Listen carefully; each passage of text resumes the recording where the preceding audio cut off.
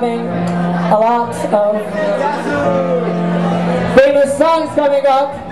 Maybe you might hear a Korean sensation later or a Dan legend later, we don't know. But first of all, let's have a good time tonight.